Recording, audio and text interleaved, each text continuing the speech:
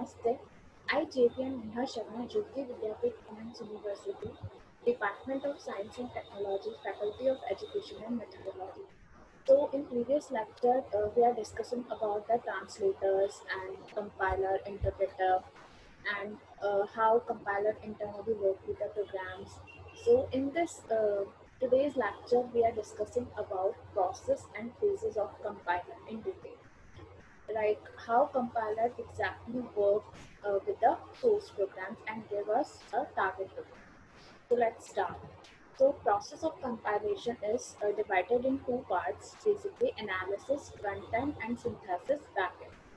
So in analysis, front end means जो भी हमें शो होता है स्क्रीन पे like error line by line हमें एरर शो होती है जब हम कंपाइल करते हैं और बैक एंड में जो भी वो काम कर रहा है, जैसे कि जो भी डेटा वो स्टोर कर रहा है सिंबल टेबल में या सिमेंटिक एनालिसिस सिंटेक्स एनालिसिस जो भी वो बैक एंड में कंपाइलर काम कर रहा है, हमें फ्रंट एंड में आउटपुट प्रोवाइड कराने के लिए, वो सारा किसमें है? Synthesis and so these are the phases of compiler basically character stream तो यहाँ पे जो आप रेड में देखेंगे, वो हमारे स्टेप्स है कंपाइलर के लिए। और ये जो रेड में है ये स्टेप्स है पेजेस है कंपाइलर के लिए और उसके अलावा जो ऊपर और नीचे आप देख रहे हैं इनके ये इनके इनपुट्स हैं और इनके इसके आउटपुट्स हैं। लाइक like, अगर मैं लैक्सिकल एनालाइजर की बात करूँ तो कैरेक्टर स्ट्रीम इसका इनपुट है और आउटपुट क्या है? टोकन स्ट्रीम अगर मैं सिंटेक्स एनालाइजर की बात करूँ तो इसका इनपुट टोकन स्ट्रीम है और आउटपुट क्या है? सिंटेक्स स्ट्रीम सिंटेक्स एनालाइजर का। सिमेंटिक की बात करूँ तो इसका इनपुट सिंटेक्स ट्री है और आउटपुट क्या है? सिंटेक्स ट्री है। वो खाली सिमेंटिक चेक करता है कि वो सही से लिखा है कि नहीं लिखा है। उसके बाद इंटरमीडिएट कोड जनरेशन अगर यहाँ पे है तो इंटरमीडिएट रिप्रेजेंटेशन ये देता है जो कि कोड ऑप्टिमाइजर के पास जाता है और हमें क्या मिलता है? कोड ऑप्टिमाइजर उसे ऑप्टिमाइज करता है और हमें बेस्ट कोड देता है। फिर कोड जनरेशन के पास जाता है और हमारा टारगेट मशीन कोड जनरेट होता है मशीन डिपेंडेंट कोड ऑप्टिमाइजर की हेल्प से और हमें हमारा फाइनल टारगेट मशीन कोड मिल जाता है। यहाँ पे आपने देखा कि यहाँ पे सिंबल टेबल है सबके है तो ये सिंबल टेबल का काम क्या होता है कि सिंबल टेबल स्टोर करते information about the entire process entire source program is use by all phases of compiler basically तो जो भी जितने भी हमारे कंपाइलर के फेजेस हैं, वो सब हमें जितना भी उसमें काम हुआ है, जो भी इंफॉर्मेशन उसको मिली है इनपुट आउटपुट वो सब क्या करता है, ये स्टोर करके रखता है। ताकि आगे अगर ज़रूरत पड़े तो हम वहाँ से पिक करें। तो लैक्सिकल एनालाइजर इसका फ़र्स्ट स्टेप था। ठीक है? अब हम लैक्सिकल एनालाइजर के बारे में बात करेंगे, जो कि फ़र्स्ट फ़ेज़ है कंपाइलर का। तो लैक्सिकल एनालाइजर क्या करता है? स्ट्रीम ऑफ़ कैरेक्टर्स लेता है इनपुट में। और उसको क्या करता है? सोर्स प्रोग्राम बनाता है उससे and a group of characters को क्या करता है? मीनिंगफुल सीक्वेंसेस में बनाता है। जिसे लैक्सीन्स कहते हैं। तो ये जो लैक्सीन्स होते हैं, इसको ये स्कैन करता है। For each lexeme scanner produce an output word token तो ये क्या होता है? बेसिकली स्कैनिंग का काम करता है। जो भी कैरेक्टर्स इसे इनपुट के रूप में मिले हैं, यहाँ पे आपने देखा कैरेक्टर स्ट्रीम इसका इनपुट है और आउटपुट क्या है? टोकन तो ये टोकन में कन्वर्ट कर देता है तो बेसिकली टोकन जो है वो स्कैनिंग के बाद इसका आउटपुट होता है फाइनल लेकिन ये क्या करता है? लैक्सिकल एनालाइजर का काम क्या होता है कि जो भी इसको कैरेक्टर स्ट्रीम्स मिली है, उसे मीनिंगफुल सीक्वेंस में ये फॉर्म करता है और लैक्सिन बनाता है. यहाँ पे आप देख रहे हैं, ये इसका आउटपुट है टोकन नेम एट्रीब्यूट वन जैसे आपने इसको दे दिया वाई के एस तो इससे क्या बन जाएगा? स्काई आपने रैंडमली डाल दिया एल बी यू ई तो उससे क्या बन जाएगा? ब्लू तो ये मीनिंगफुल सीक्वेंसेस में उससे कन्वर्ट करता है। नेक्स्ट है सिंटेक्स एनालाइजर इसका नाम से इसका समझ आ रहा है। तो ये क्या करता है, जो इसको टोकन्स मिलेंगे लैक्सिकल एनालाइजर से, उससे ये सिंटेक्स ट्री बनाता है। तो सिंटेक्स ट्री की हेल्प से हम एनालाइज uh, करेंगे कि जो भी ग्रामेटिकल स्ट्रक्चर है टोकन स्ट्रीम का वो करेक्ट है कि नहीं है? सिंटैक्टिकली हमारा जो टोकन है वो करेक्ट है कि नहीं है? हर प्रोग्राम के लिए अपने सिंटेक्स होते हैं। अगर मैं देखूँ हर प्रोग्राम में वेरिएबल इनिशलाइजेशन का तरीका अलग होता है इनपुट लेने का आउटपुट लेने का तरीका अलग होता है।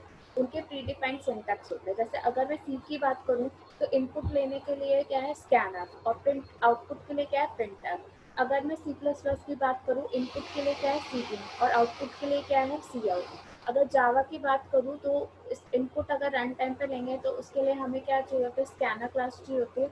और आउटपुट के लिए हमें क्या करना होता है? System dot out dot print तो हर हर एक लैंग्वेज के अपने सिंटैक्टिकल मेथड्स होते हैं जो कि प्री डिफाइंड होते हैं हर एक चीज़ के लिए, चाहे वो वेरिएबल इनिशलाइजेशन हो, चाहे इनपुट आउटपुट के लिए हो वेरिएबल इनिशलाइजेशन हो, या फिर डेटा टाइप इनिशलाइजेशन हो फ़ंक्शंस हो, कुछ भी हो, हर एक का अपना सिंटैक्स होता है। तो ये उसके लिए होता है। तो ordering of operation is consistent with the usual convention of arithmetic तो बेसिकली ये वो जो टोकन्स उसको लैक्सिकल एनालाइजर से मिले हैं, उन्हें लेगा, उन्हें चेक करेगा कि सिंटैक्टिकली करेक्ट है कि नहीं है, उसका सिंटेक्स ट्री बनाएगा, उसके बाद सिमेंटिक एनालाइजर के पास ही सिंटेक्स ट्री जाएगा। सिंटेक्स ट्री क्या करेगा? चेक सिंटेक्स ट्री जिसका इनपुट है, ये उसमें चेक करेगा सिंबल टेबल की हेल्प से कि ये सिमेंटिकली करेक्ट है कि नहीं है। सिमेंटिक एनालिसिस एक तरीके की टाइप चेकिंग होती है कि कोई भी डेटा टाइप जो है वो इनकरेक्ट तो नहीं है। सिमेंटिक एनालिसिस करेगा ये उसका भी। टाइप चेकिंग होगी उसमें हर एक चीज़ की। लैंग्वेज डेफिनेशन के हिसाब से वो सही है कि नहीं है। लैंग्वेज का क्राइटेरिया फुलफिल कर रहा है कि नहीं कर रहा है, वो सब इसमें चेक होगा। सिमेंटिक एनालाइजर में। उसके बाद इंटरमीडिएट कोड जनरेशन में होगा तो हमें क्या मिल रहा है? यहाँ से सिंटेक्स ट्री मिल रहा है। तो इंटरमीडिएट कोड जनरेशन में क्या होता है? थ्री एड्रेस कोड होता है which consist of a sequence of assembly like instruction तो थ्री ऑपरेंट्स पर इंस्ट्रक्शन इसमें होता है और हर ऑपरेंट जो है वो रजिस्टर की तरह काम करता है। इसको हम और डिटेल में पढ़ेंगे आगे इंटरमीडिएट कोड जनरेशन को। पर अभी के लिए ये सिर्फ़ इतना समझ लें कि कंपाइलर जो है मतलब जो सिंटेक्स ट्री है, वो इंटरमीडिएट कोड जनरेशन के पास में जाएगा और उससे हमें इंटरमीडिएट कोड मिलेगा आउटपुट में, जो कि थ्री ऑपरेंट इंस्ट्रक्शन रहेगा और हर ऑपरेंट रजिस्टर की तरह काम करेगा। कोड ऑप्टिमाइजेशन का काम ये होता है कि जो भी आपने इंटरमीडिएट कोड बनाया है, उसे इम्प्रूव करना ताकि हमें टारगेट कोड जो है वो इम्प्रूव रिज़ल्ट दे सके।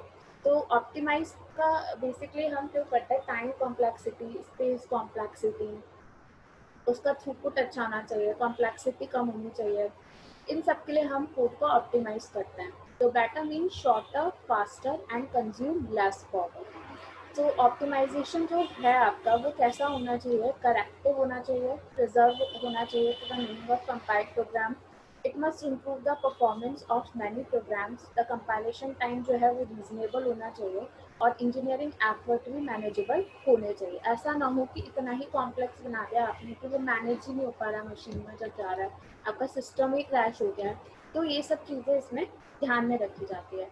अब आती है बात कोड जनरेशन की, जब हमें इंटरमीडिएट कोड को हमने ऑप्टिमाइज भी कर लिया तो अब ये इंटरमीडिएटली रिप्रेजेंट करेगा सोर्स प्रोग्राम को टारगेट लैंग्वेज में।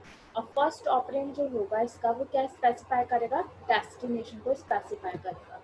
तो हम एक एग्ज़ाम्पल ले रहे हैं इसके लिए। Position equal to initial plus rate into six ये हमें एक फॉर्मूला लिया है। इसको क्या करेंगे हम? अब फेजेस ऑफ़ कंपाइलर के हेल्प से पूरा ट्रांसलेट करके देखेंगे कि एक्चुअली में फेजेस ऑफ़ कंपाइलर कैसे काम करता है? प्रैक्टिकल सिनारियो में। तो यहाँ पे हम देखेंगे position equal to initial plus state into sixty लिया लैक्सिकल एनालाइजर है। सबकी अपनी अपनी सिंबल टेबल है। तो सिंबल टेबल में किसमें जाएगा? कैरेक्टर्स में जाएगा। क्योंकि कैरेक्टर स्ट्रीम इसका इनपुट होता है। तो इनपुट में जब गया तो ये कैसे जाएगा? पोजीशन इनिशियल ठीक है? ये इसमें चला गया लैक्सिकल एनालाइजर में। ठीक है?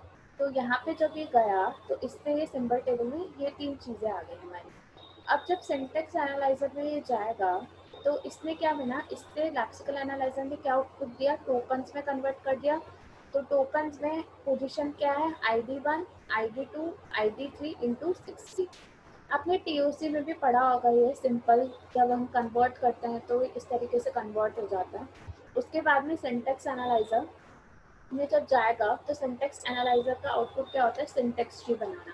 तो ये क्या करेगा? इसका सिंटेक्स ट्री बनाएगा। ये सिंपल ट्री है जो हम डेटा स्ट्रक्चर में भी पढ़ते हैं। तो पहले क्या होगा हमारा? सिंबल हो गया, जो भी है। अब क्या है हमारा? आई डी वन क्योंकि ये हमारी डेफिनेशन है और ये इसे डिफाइन कर रहा है, ये वेरिएबल है। तो ये हम इधर ले लेंगे और बाकी जितनी भी डेफिनेशन वाला जो पार्ट है, इस साइड का वो, इस साइड चलेगा।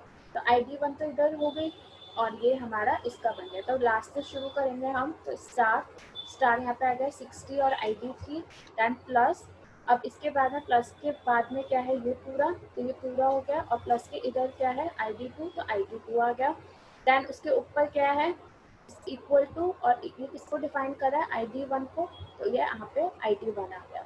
अब सिमेंटिक एनालाइजर ने चेक किया कि सिमेंटिकली ये सही है कि नहीं है। अगर ये सब में जो भी एरर्स आएँगे, वो यहाँ पे स्टोर होती रहेंगी और हम उसे करेक्ट करके दोबारा से चेक करेंगे। उसके बाद में सिमेंटिक एनालाइजर ने देखा कि ये जो डेटा है, इसका कोई भी डेटा टाइप नहीं है।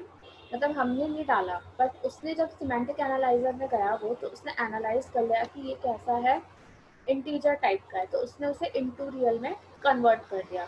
अब ये इंटरमीडिएट कोड जनरेट हुआ इसका, ठीक है? अब इंटरमीडिएट कोड जनरेट हो गया है तो वो किस तरीके से जाएगा? वो टेम्प्रेरी वेरिएबल्स में स्टोर होता है। इसे हम डिटेल में आगे पढ़ेंगे। तो हमने पढ़ा था कि ये थ्री एड्रेस का कोड होता है। तो यहाँ पे आप देखेंगे कि थ्री एड्रेस कोड हमारा जनरेट हो गया। मतलब हमने तीन टेम्प्रेरी वेरिएबल ले लिए। Temp one temp two temp ठीक है? टैम्प वन में इंटू रियल चला गया। Then I T into temp one क्योंकि हमारा आई टी इंटू सिक्सटी था। I D three into sixty था तो सिक्सटी को उसने इंटू रियल में कन्वर्ट किया था तो वो टैम्प वन में चला गया। टैम्प टू में क्या होगा अब? टैम्प टू में I D three into temp one हो जाएगा। फिर टैम्प थ्री की अगर मैं बात करूँ तो आई डी टू प्लस ये पूरा टैम्प टू और फिर आई डी वन में पूरा का पूरा क्या हो जाएगा? टैम्प थ्री हो जाएगा। तो इस तरीके से इसने इसको इंटरमीडिएट कोड में जनरेट कर लिया।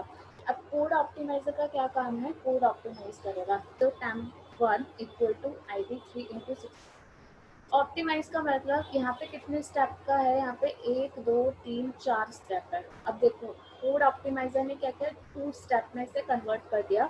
इसे ऑप्टिमाइज कर दिया। इससे इसकी क्या होगा? टाइम कॉम्प्लेक्सिटी स्पेस कॉम्प्लेक्सिटी दोनों इम्प्रूव हो गई है। फिर फाइनल कोड हमारा जनरेट हो जाएगा इस जो आप देख रहे हैं। तो इस तरीके से हमारा फेजेस ऑफ़ कंपाइलर जो है, वो काम करता है। तो This is all for this class. Thank you so much.